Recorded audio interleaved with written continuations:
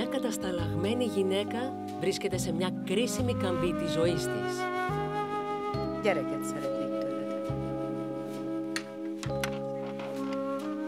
Δημιουργεί έναν ισχυρό συναισθηματικό δεσμό με μια έφηβη κοπέλα. Csak örökben Οι δύο γυναίκες δίνουν μία στην Μπράβο, άλλη Τερέκ. μαθήματα ζωής.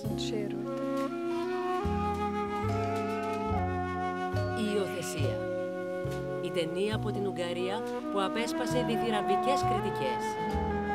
Κυριακή στις 10 το βράδυ στην οθόνη της ΣΕΡ 3.